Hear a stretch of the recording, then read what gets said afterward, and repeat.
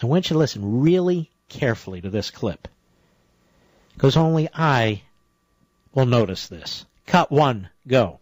There were times where I thought about giving up and moving on.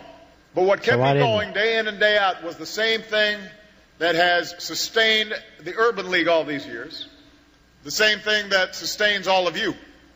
And that is the belief that in America, change is always possible.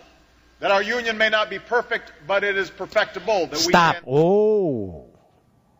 May not be perfect, but it's perfectible. Ooh. Go ahead. strive over time through effort and sweat and blood and tears until it is the place we imagine. That's Ameritopia right there. See, ladies and gentlemen, our union may not be perfect, but it's perfectible. If only we turn it into the place we imagine. He just said it. There it is.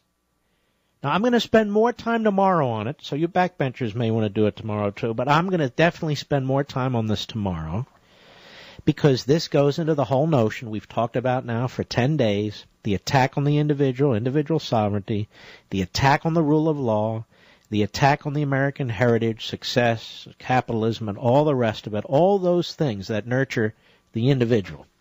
And here's the counter philosophy, really in one or two sentences. Making that was it, that which is imperfect perfect. If only we put in place what Obama imagines. There it is, ladies and gentlemen. Utopian statism, Ameritopia style.